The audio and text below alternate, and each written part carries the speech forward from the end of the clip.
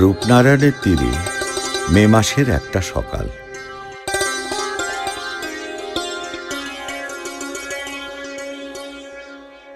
পশ্চিমবঙ্গের যে কটা নদী সারা বছর জল ধরে রাখতে পারে, রূপনারায়ণ তাদের মধ্যে অন্যতম।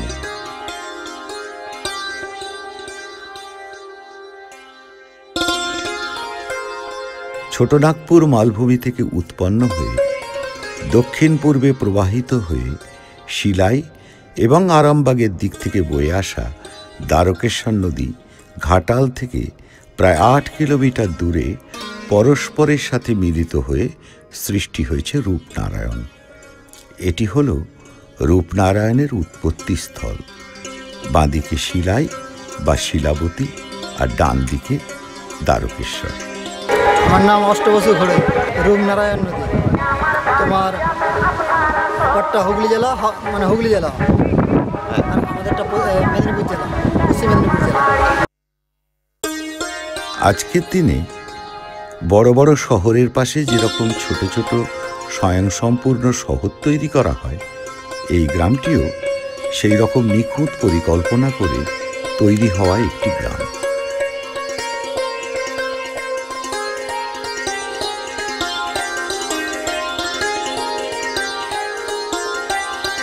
রূপনারায়ণের পশ্চিম তীরে এই গ্রামটি তৈরি করা হয়েছিল আজ থেকে তিনশো বছর আগে।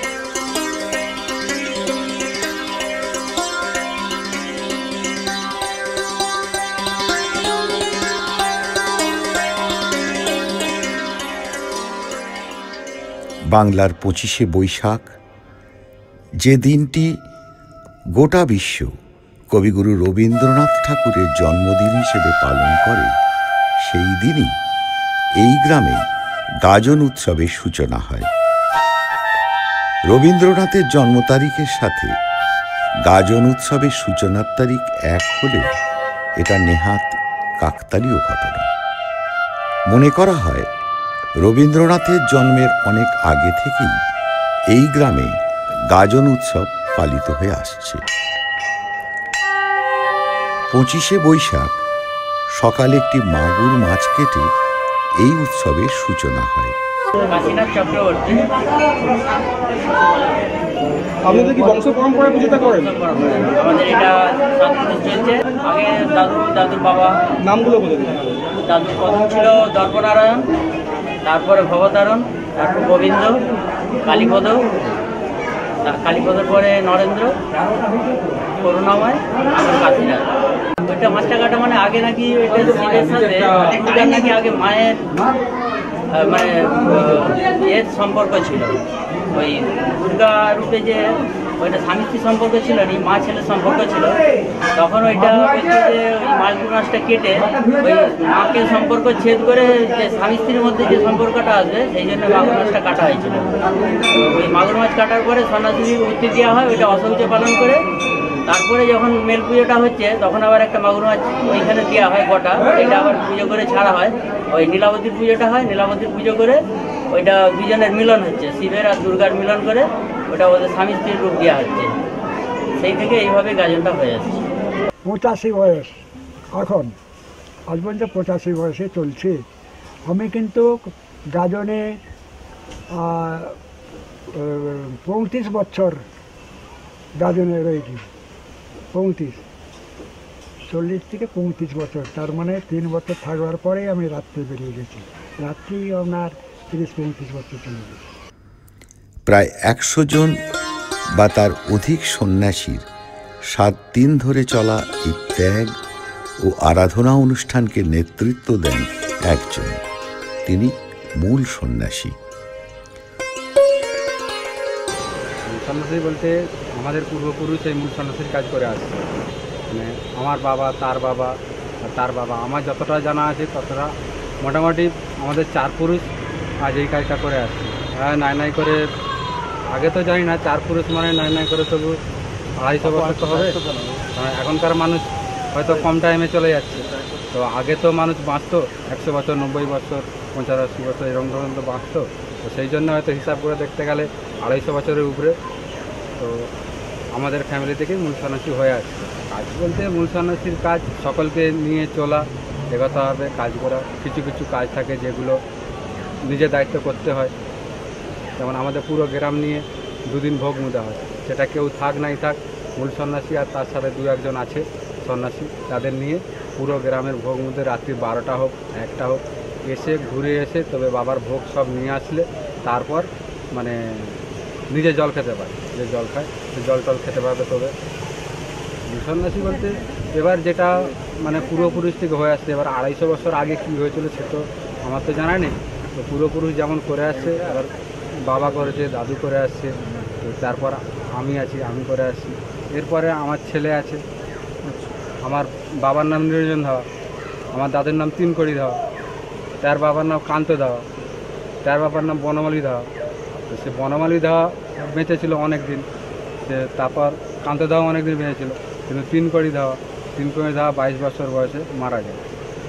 তখন বাবা ছোট ছিল, কাজ তখন কিছু, আমাদের গ্রামের অন্যান্য কিছুদিন কুড়ি বছরের মতো কাজ চালিয়েছে। কুড়ি বছর চালানোর পর বাবা যখন সাবালক হলো, তখন সেই কাজ আবার আমাদেরকেই ফেরত দিয়েছে বাবাকে বাবা এই তিরিশ বছর, পঁয়ত্রিশ বছর গাজন করার পর আমাকে ছেড়ে দিয়েছে। যখন দেখলাম যে আমি সব দায়িত্ব সামলাতে পারব, তখন বাবা আমাকে ছেড়ে দিয়েছে। আমারও হয়ে গেল গাজনে আজ প্রায় কিছু কম বিশ বছরের কাছাকাছি।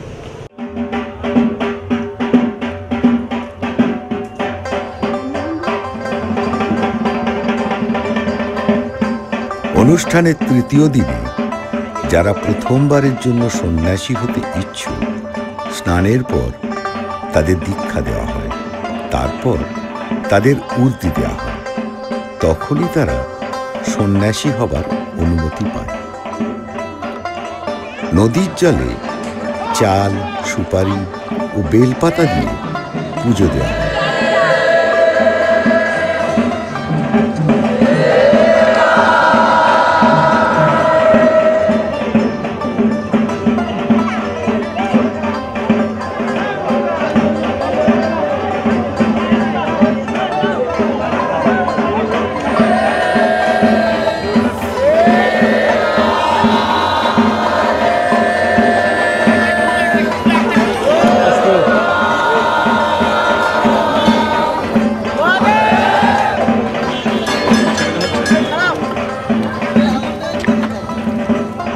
প্রাচীন কাল থেকে ভারতীয় সংস্কৃতিতে তামাকে জলের পরিশোধক বলে মনে করা হয়। তাই সন্ন্যাসীরা স্নানের সময় নদীবক্ষে তাম্র মুদ্রা প্রদান করে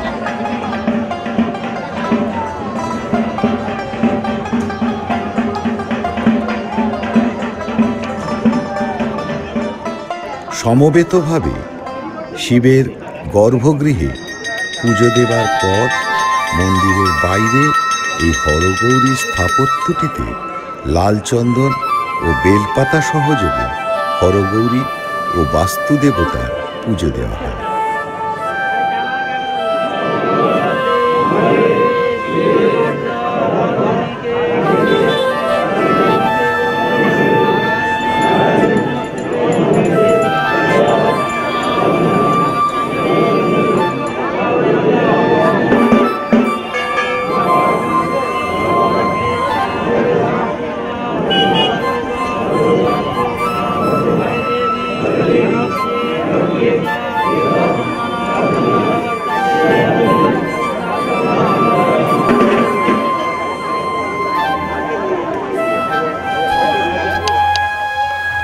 হিদোলার আয়োজন করা হয়।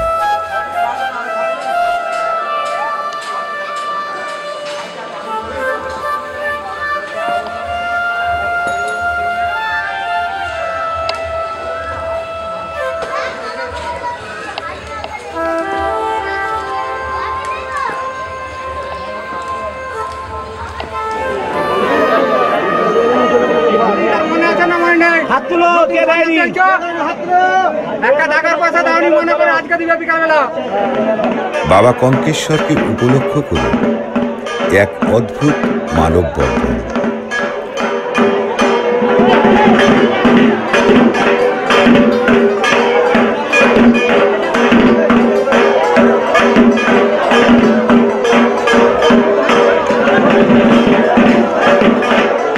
কোম্পানির শাসন, জমিদারের অত্যাচার, দুর্ভিক্ষ, মহামারী, বন্যা বারবার এই গ্রামের স্বাভাবিক জনজীবনকে স্তব্ধ করে দিয়েছে।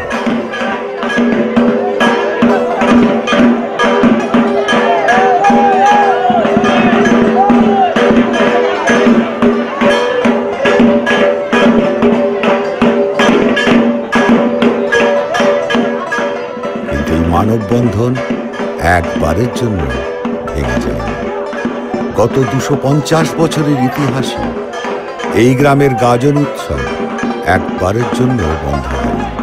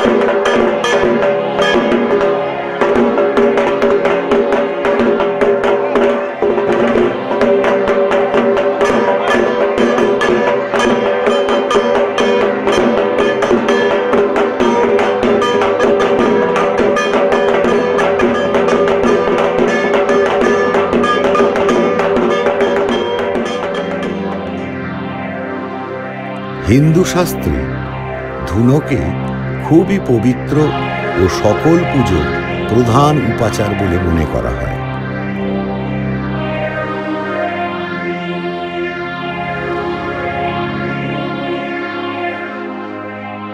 সাত দিন ধরে চলা গাজন অনুষ্ঠানে সন্ন্যাসীরা অত্যন্ত দক্ষ নৃত্যশৈলীর সাথে তা পরিবেশন করে।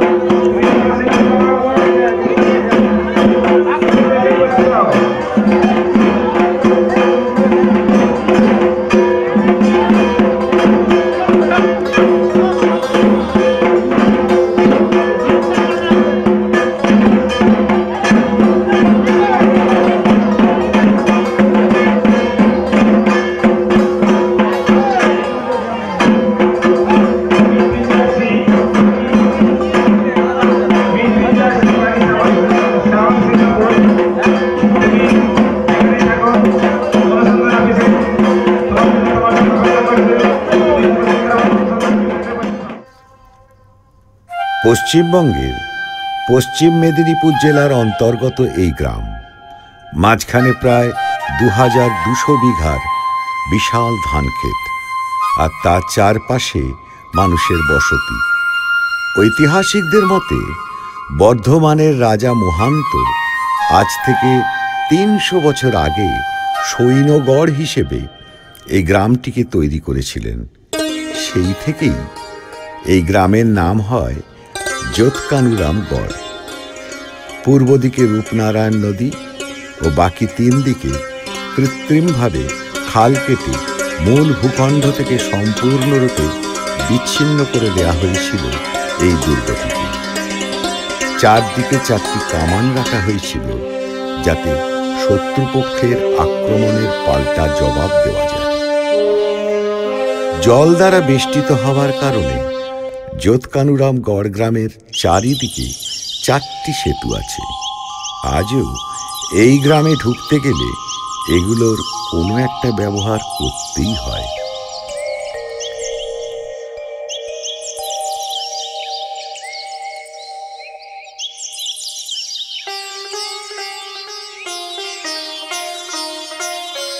বর্ধমান রাজার সৈন্যগড় বানিয়েছিল এই জায়গায় আমি যেটা বলেছি আপনি বলুন।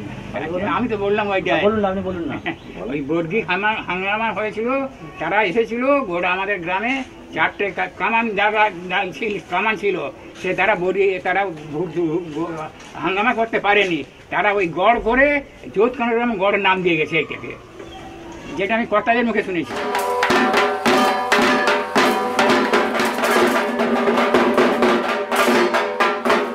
সন্ন্যাসীদের হাতে এই বিশেষ ছড়িটি বেত গাছ থেকে তৈরি করা হয়।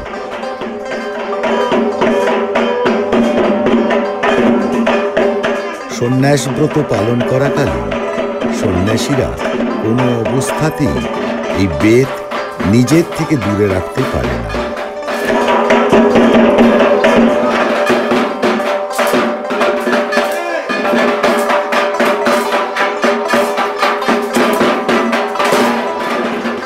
গাছ ভাঙার দিন, দুপুরবেলা সন্ন্যাসীরা মেতে ওঠে নিখুঁত ছন্দের এই বেত খেলা।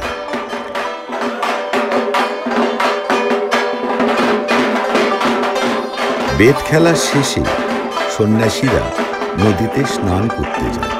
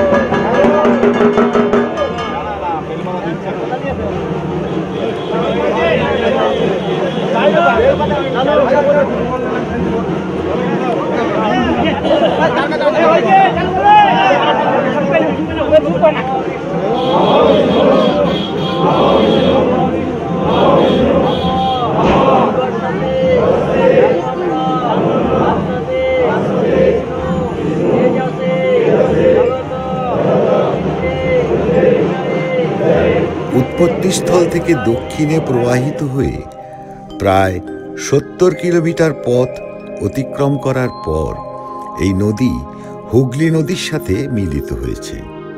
দুই দিকে দুই জেলা বাঁদিকে হুগলি আর ডান দিকে মেদিনীপুর, বর্তমানে পশ্চিম মেদিনীপুর। আবার গোপীগঞ্জের কাছে এই নদী হাওড়া, হুগলি ও পশ্চিম মেদিনীপুর এই তিন জেলার সীমানাকে একসাথে স্পর্শ করেছে। আপাত দৃষ্টিতে এই স্বচ্ছ নির্মল জলধারা বর্ষাকালে এক ভয়ঙ্কর রূপ ধারণ করে। শিলাই দ্বারকেশ্বরের জলের চাপ এসে পড়ে এই নদীর ওপর। কোনো কোনো বছর নদী বাঁধ ভেঙে পার্শ্ববর্তী বিস্তীর্ণ এলাকা প্লাবিত করে। নদীর কুলো করে দুপুরে ছাপিয়ে যাবে নদী, একবার সাগরে যায় জল একবার ঘর বাড়ি সব একবারে ঘরের গা বয়ে যাবে একবার নদীতে। আর কাউ কাউ শব্দ একবারে। হ্যাঁ একবারে সে ঘরের কাছে একবারে, ঘরের কাছে জল একবার। আর আমাদের বাঁধ বরাবর জল একবারে দু সাইডে বাঁধে বস্তা দেওয়া হয়।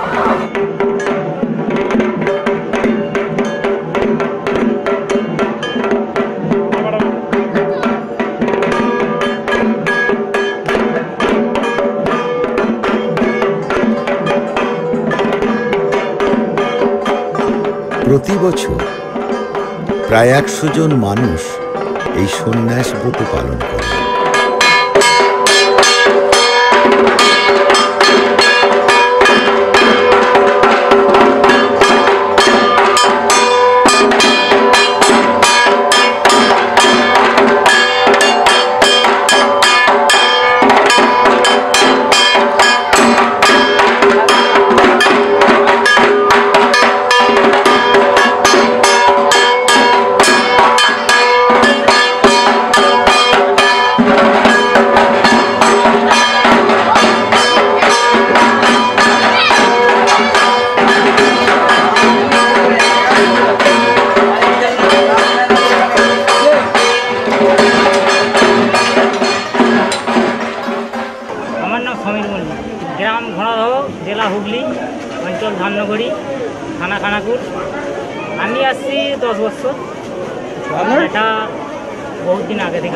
আপনার কতদিন? আমার পঁচাশি সালের বন্যা কখন হয়েছিল? তার আগে থেকে। আগে আসতে হয়তো আমি জানতাম কোনো রকম আর্থিক সুবিধা ছাড়াই কেবলমাত্র ভগবান শিবের প্রতি শ্রদ্ধাতেই এতগুলো মানুষ এত দিন ধরে এই কঠিন ব্রত পালনে আগ্রহী হয়।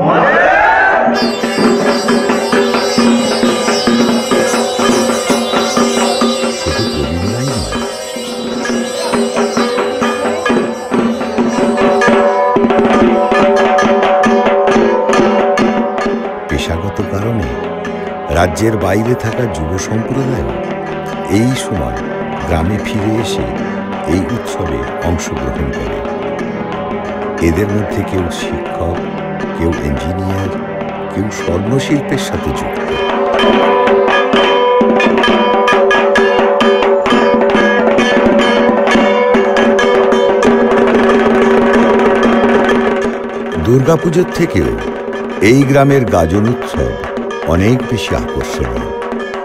তাই তো গ্রামের মেয়েরা দূর দূরান্ত শ্বশুর বাড়ি থেকে বাপের বাড়ি ছুটে আসে শুধু গাজনের টানে। প্রবীণরা খুব যত্ন করে নবীনদের তৈরি করে এই শতাব্দী প্রাচীন পরম্পরাকে এগিয়ে নিয়ে যাবার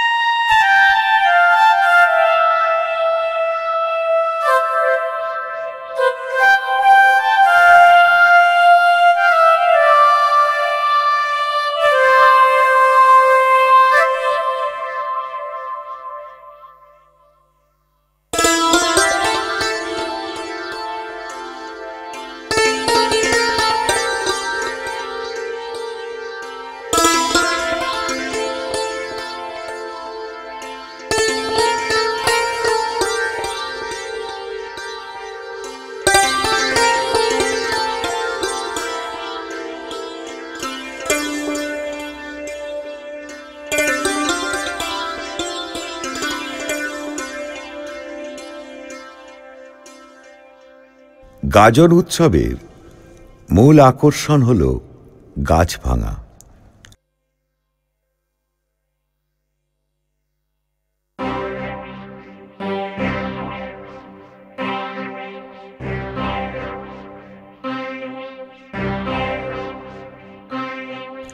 মূল সন্ন্যাসী গাছ নির্বাচন করেন।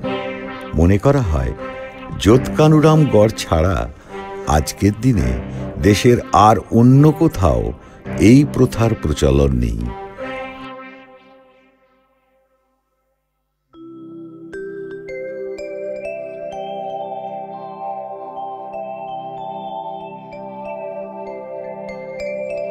কোনো রকম উপকরণ বা যন্ত্রপাতি ছাড়াই গাছগুলিকে ভাঙা হয়।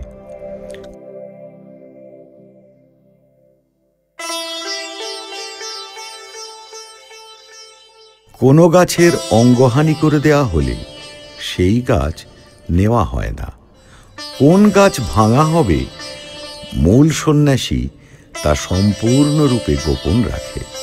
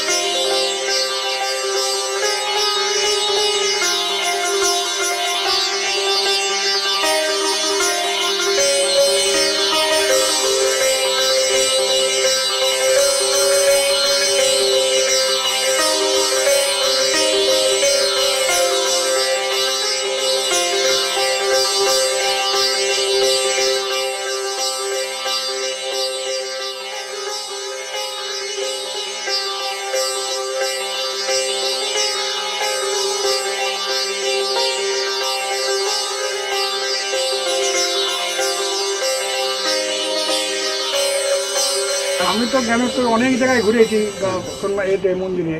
কোথাও ওই উড়ানা নেই। না ডাল ভাঙা আছে। আপনি শুনেছেন যে আর কোথাও ভারতবর্ষের কোথাও গাছ উড়ানো হয়? হ্যাঁ? গাছ উড়ানো হয় ভারতবর্ষের কোথাও শুনেছেন? গাছ মানে ওই রাত্রিতে ওইটা আমাদের এই গ্রাম ছাড়া আর কোথাও গাছ উড়ানো হয়? শুনেছেন আপনি? আশপাশে? যে কোনো জায়গায়? হ্যাঁ? পাশাপাশি কোনো গ্রামে কোথাও গাছ হয়েছে? উড়ায় গাছ গাছ উড়ায় উড়ায় না তো? না। দেখিনি ওই সব তারা মানে তাও সব। শুধুমাত্র এই গ্রামে উড়ানো হয়? আমাদের গ্রামে আমাদের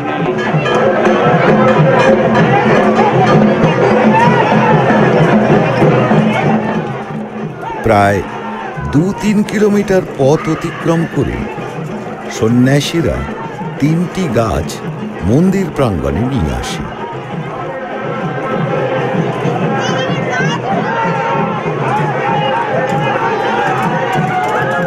গাছগুলিকে তিনবার মন্দির প্রদক্ষিণ করানো হয়।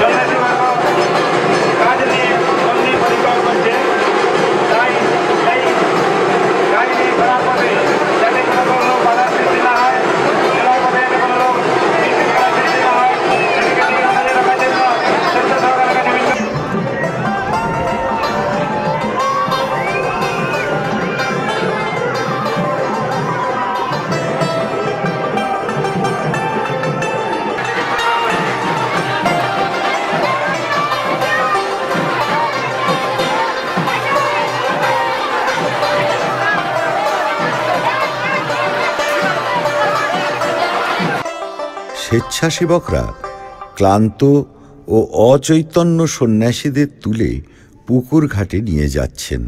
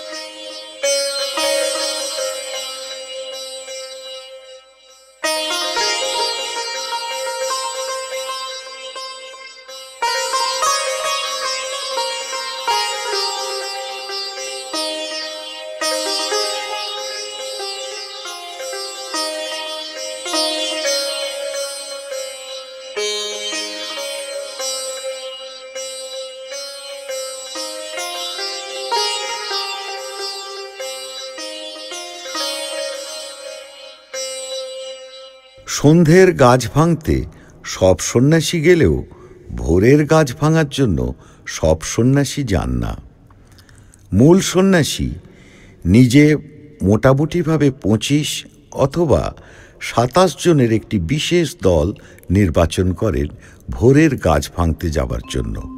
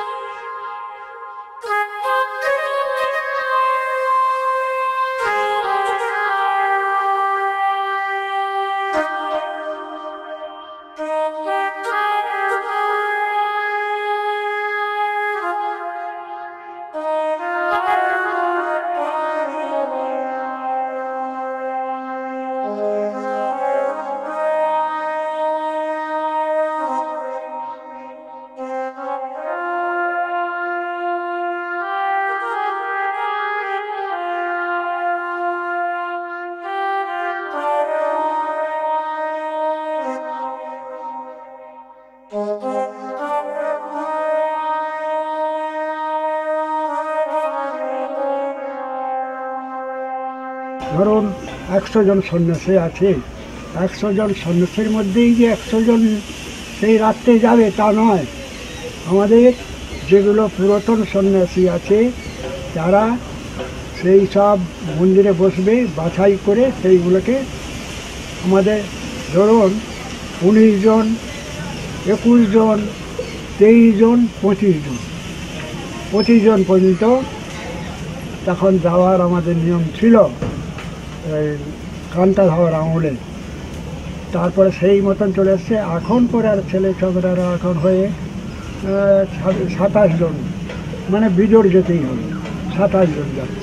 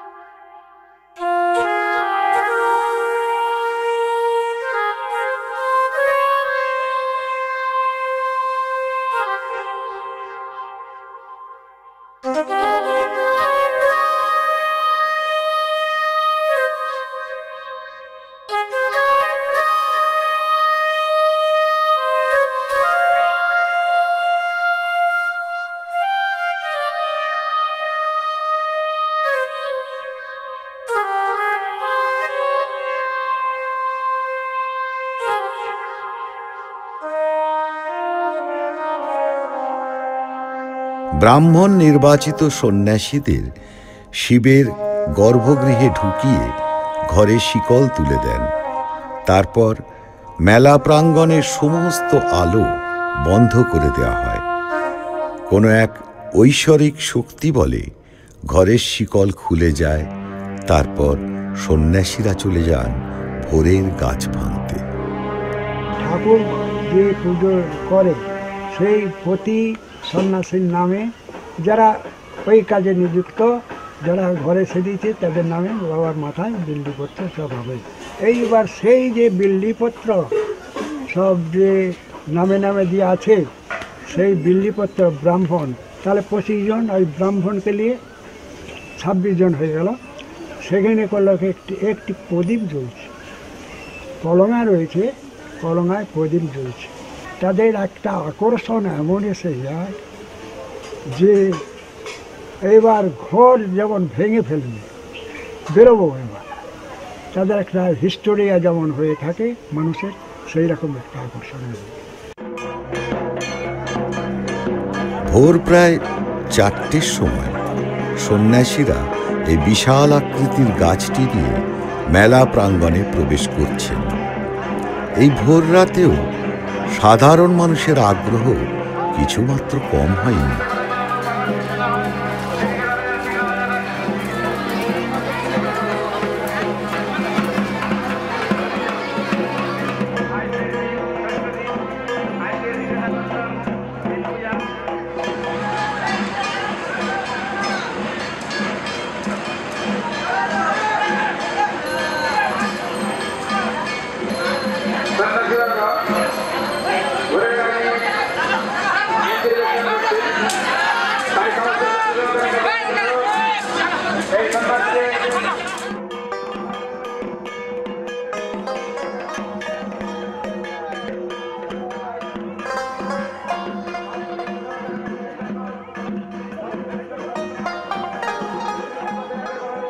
গাছ ভাঙা পরিবেশের পক্ষে ক্ষতিকারক হলেও এই বাবলা গাছগুলি ভাঙার পর দীর্ঘ পথ অতিক্রম করে গাজনতলায় যাবার সময় গাছ থেকে হাজার হাজার পরিণত বীজ গোটা যাত্রাপথে পড়তে পড়তে যায়।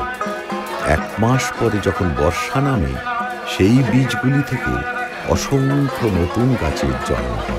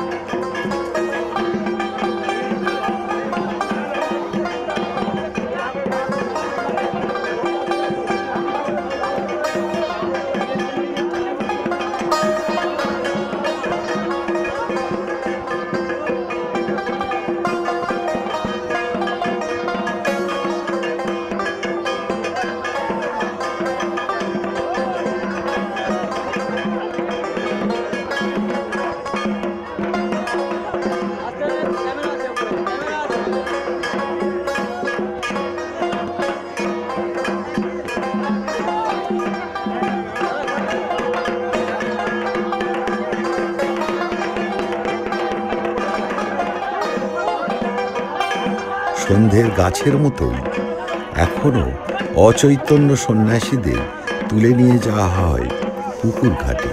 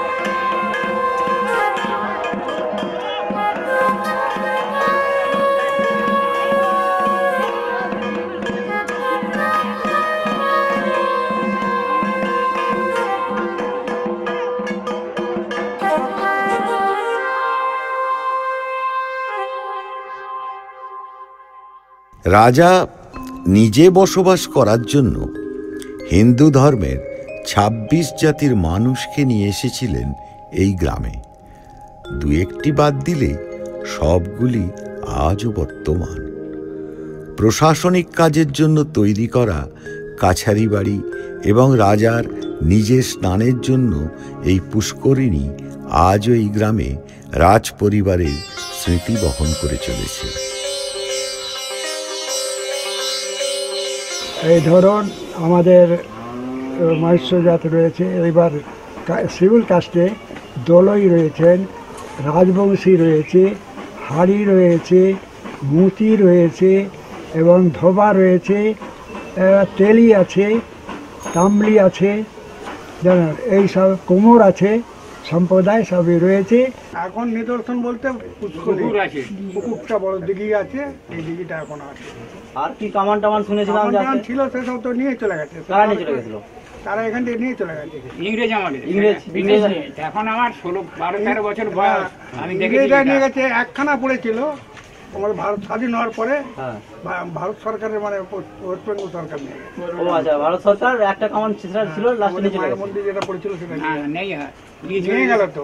হ্যাঁ? ওটা নিয়ে চলে গেছে। নিয়ে চলে গেছে ওটা। এই স্থানটিতে ইংরেজ আমলে ছিল বারুদ ঘর। কিন্তু বারুদ ঘর আর ঘড়ি ঘর কোনোটিরই আজ আর কোনো অস্তিত্ব নেই।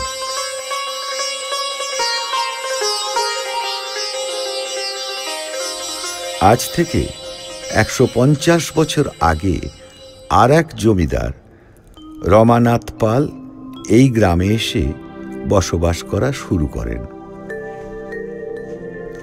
বর্তমানে গ্রামে তিনটি প্রাথমিক বিদ্যালয়, একটি উচ্চ বিদ্যালয় এবং একটি শিক্ষক প্রশিক্ষণ কেন্দ্র আছে, যার মধ্যে একটি প্রাথমিক বিদ্যালয় ও উচ্চ বিদ্যালয়টি রমানাথ পালের বংশধরেরা দান করেন। বাড়িটা আসলে হচ্ছে রঘুনাথ পাল বাড়ি। পরবর্তীকালে তাদের অনেক বংশধর পরপর আছে। রঘুনাথ পাল ছিলেন একজন বিশিষ্ট লোক। উনি পেশায় ছিলেন একজন জমিদার, সেই সঙ্গে ব্যবসা ওনাদের ছিল। উনি এমনই জমিদার ছিলেন এবং ধনী লোক ছিলেন, খিদিরপুরে ওদের ব্যবসা ছিল। সেই খিদিরপুরে সিয়ার দাস যখন স্বাধীনতা সংগ্রামের জন্য চাঁদা কালেকশন করেছিলেন, খিদিরপুর এলাকার মধ্যে উনি সব থেকে বেশি টাকা চাঁদা দিয়েছিলেন। সেই জন্য সিয়ার দাস ওনার নামটাকে বাঁচিয়ে রাখার জন্যে খিদিরপুর এলাকায় ওনার নামে একটা রাস্তা করে দিয়েছেন রমানাথ পাল রোড, খিদিরপুর। আজ মেলার ষষ্ঠ দিন। আজকের দিনটি মিলনবার বা মেলবার নামে পরিচিত।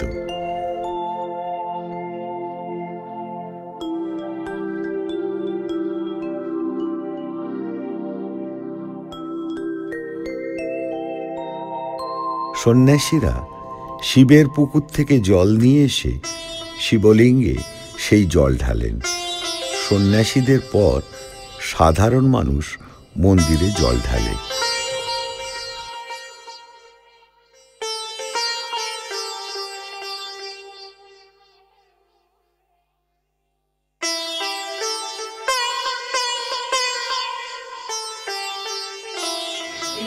বৈশাখী গাজনে ভগবান শিবকে কঙ্কেশ্বর রূপে পূজা করা হয়।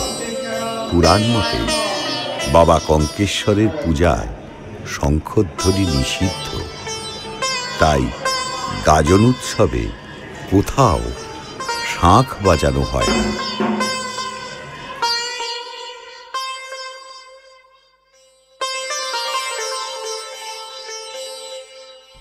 সন্ধ্যাবেলা অসংখ্য মাটির প্রদীপ জ্বালিয়ে মন্দিরে সন্ধ্যা দেখানো হয়।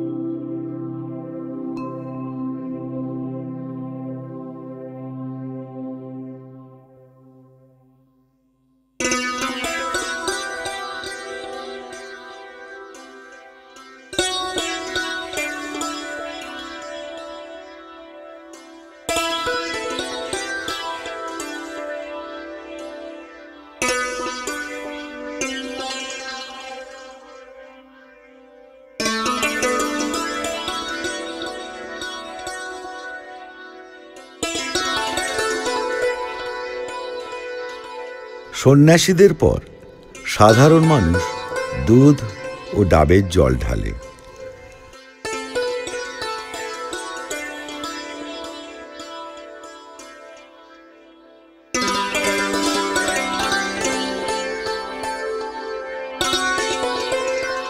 একশো জন সন্ন্যাসী, হাজার হাজার দর্শনার্থী, সাত দিন ব্যাপী এই সব কিছুকে সুষ্ঠুভাবে সম্পন্ন করার জন্য দরকার, নিখুঁত পরিকল্পনা এবং দক্ষতা।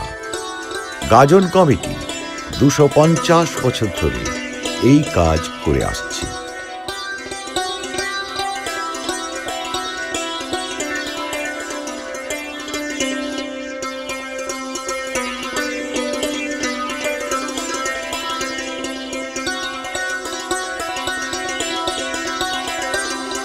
কোনো অসুবিধা নেই। কতদিন ধরে আপনি এই কাজটা করছেন? আমি প্রায় দশ বছর দায়িত্বে আছি, আর সন্ন্যাস আগে ছিলাম, প্রায় পঁয়ত্রিশ বছর আমি সন্ন্যাস ছিলাম। আমার বাবা চালাতো, বাবা পরিচালনা করে গেছে আজকে। দীর্ঘদিন সে মরে যাওয়ার পর বর্তমানে আমি এই ক্যাশের দায়িত্বে আছি, দেখাশোনাটাই করে যাচ্ছি।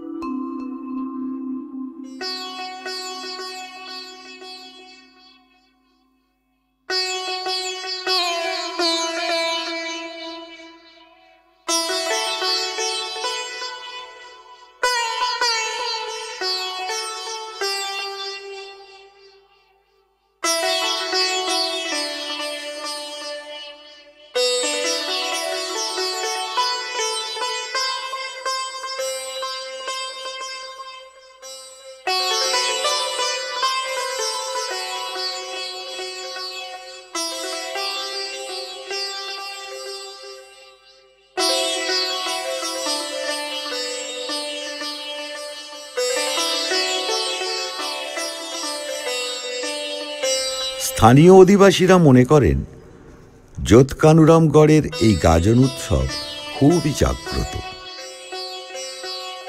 ভগবানের কাছে মানত করে তার সুফল পেলে এইভাবে তারা ভগবানের প্রতি কৃতজ্ঞতা প্রকাশ করেন।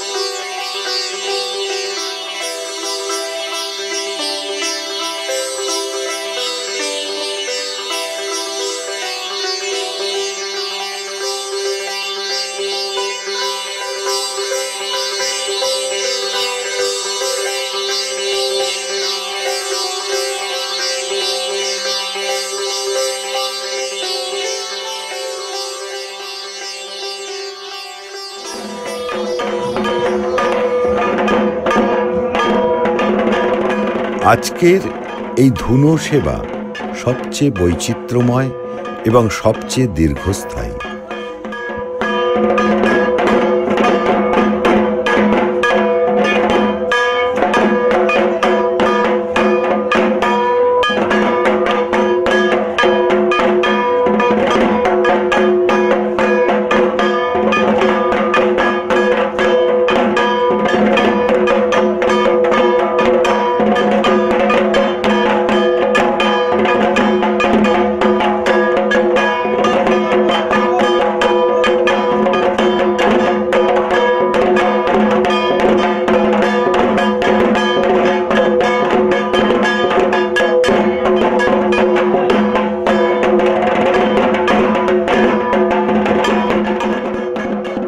সেবার পর শিবের বিয়ের আয়োজন করা হয়। একটি মাগুর মাছকে পুজো করে নদীতে ছাড়া হয়। আজকের রাতটা সকল সন্ন্যাসীরা ও মেলা প্রাঙ্গণে উপস্থিত সমস্ত মানুষ জেগেই কাটান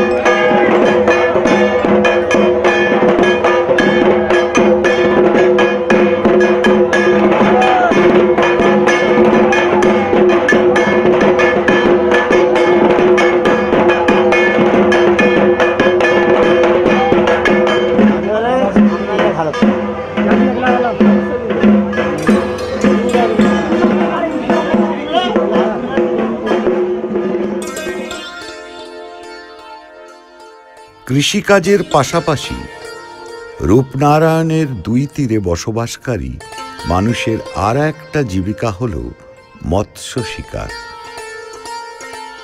মনে করা হয় পদ্মা গঙ্গার পর রূপনারায়ণ তৃতীয় বৃহত্তম ইলিশ উৎপাদনকারী নদী।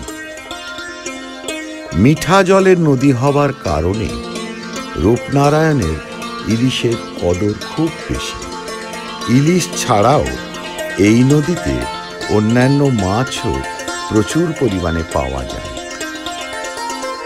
হ্যাঁ বড় বড় মাছ কানা কানাকাগর, বাইশ কেজি, আঠাশ কেজি, তিরিশ কেজি এক একটা ওয়েট ইঁটে মাছ যেটা ইঁটে কাগর বলা হয়, দু কেজি, তিন কেজি, চিংড়ি, পাওদা, ঘুষা ট্যাংরা, সমস্ত মাছই আমরা ধরি। আর যেটা এখন মাছ ধরাচ্ছে, এইটা হচ্ছে আর দু কেজি থেকে থাকবে এই মাছটা, এই জালের মাছটা। দু কেজি মাছ থেকে থাকবে। দেখছ খাইটা কত বড়? একবারে খায় ঢুকে যাবে।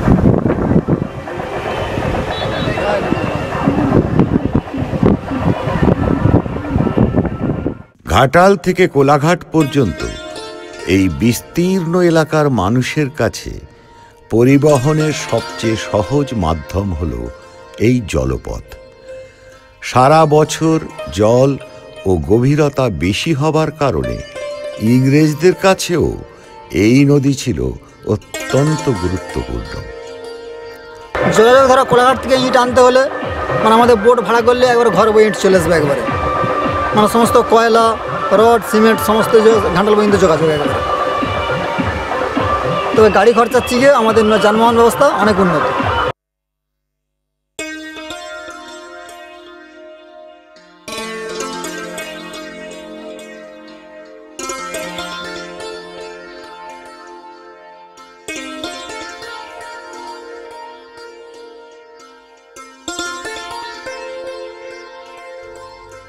গাজন উৎসব চলাকালীন সন্ন্যাসীদের খাওয়া দাওয়ার ক্ষেত্রে কঠোর নিয়ম মেনে পালন করতে হয়।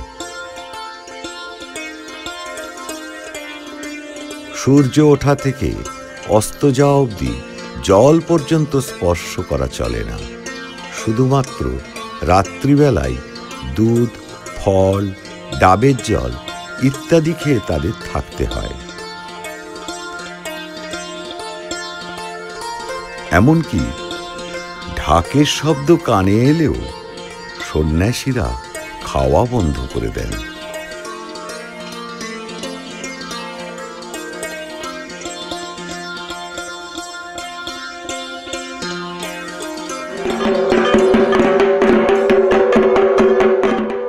দুটি কাশমলা গাছে একটি বাঁশকে আড়াআড়ি বাঁধা হয়। সেই বাঁশে একটি দড়ির সাহায্যে সন্ন্যাসীদের উল্টো করে ঝুলিয়ে দেওয়া হয়। নিচে থাকে অগ্নিকুণ্ড। একেই বলা হয় হিদোলা।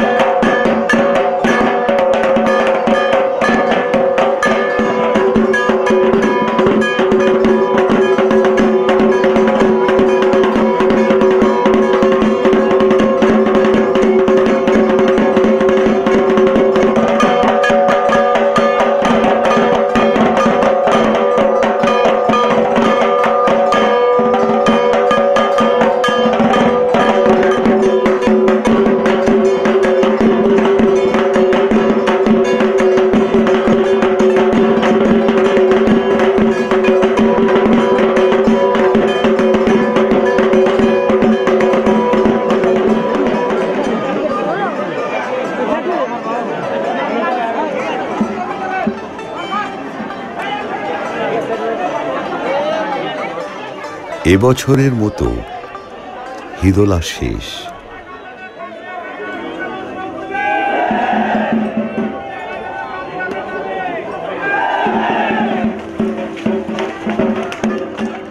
সন্ন্যাসীরা মুঠো মুঠো ধুনো নিয়ে অগ্নিকুণ্ডে নিক্ষেপ করে। আগুনের শিখা উপরে উঠে হিদোলার দড়িকে পুড়িয়ে দেয়।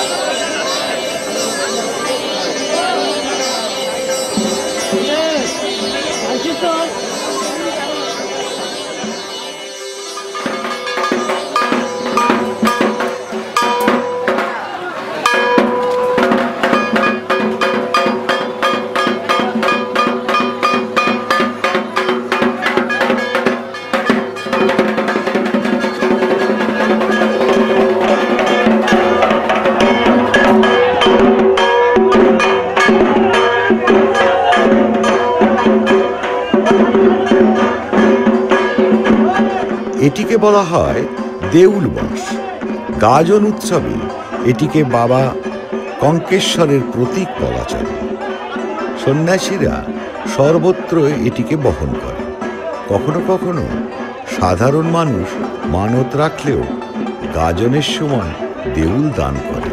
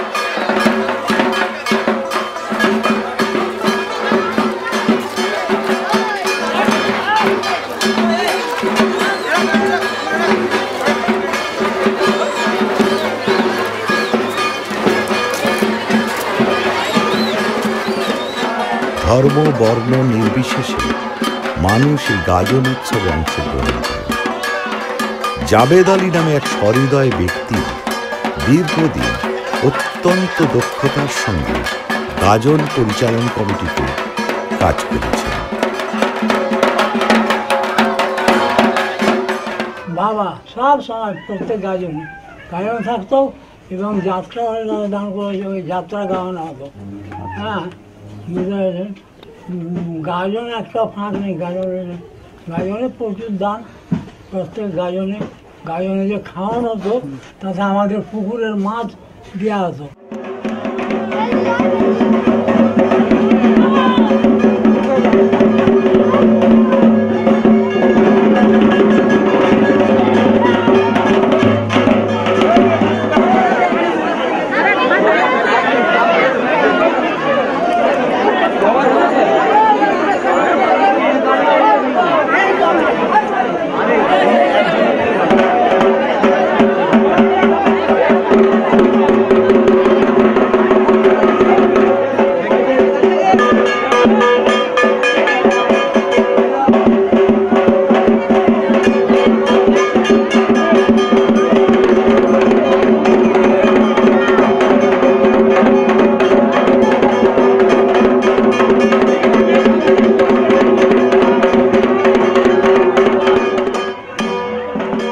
বৈশাখ মাসের শেষ তাপমাত্রা যখন প্রায় চল্লিশ ডিগ্রি, তখন সন্ন্যাসীরা খালি গায়ে এই তপ্ত মাটির ওপর বড় বড় কাঁটা ছড়িয়ে তার ওপর দিয়ে কাঁটা গোরেন করেন।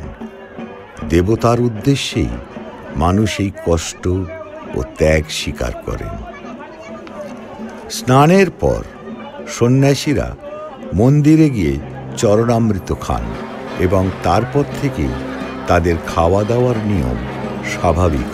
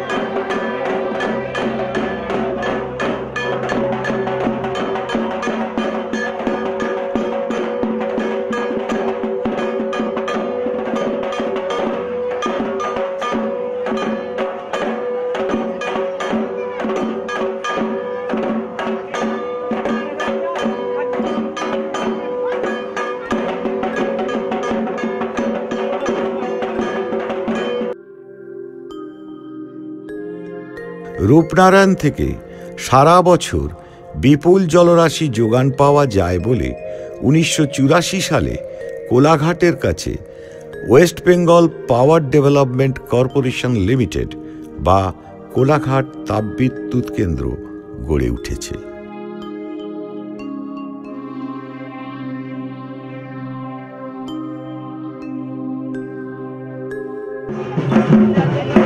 বাবা কঙ্কেশ্বরের টানে দূর দূরান্ত থেকে মানুষ এখানে আসে জীব ফোঁড়ার জন্য। সম্পূর্ণ নিজেদের ইচ্ছায়, নিজেদের অর্থ ব্যয় করে এই সব মানুষগুলো এখানে আসেন এদের মধ্যে বেশিরভাগই চন্দ্রকোনা, বেলপাহাড়ি বা লালগড়ের বাসিন্দা। ঈশ্বরের আশীর্বাদে কোনো রকম চিকিৎসা ছাড়াই কেবলমাত্র বেলপাতা খেয়ে তিন চার দিনে এরা আবার সম্পূর্ণ সুস্থ হয়ে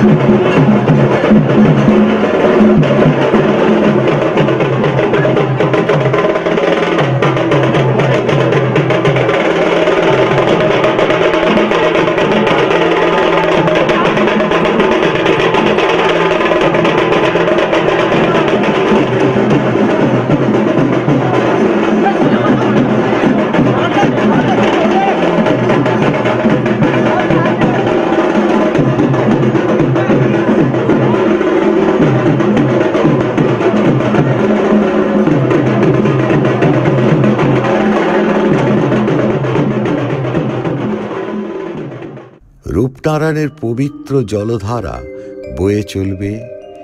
গ্রামের মানুষ আরও একটা বছর অপেক্ষা করে থাকবে এই গাজন উৎসবের জন্য।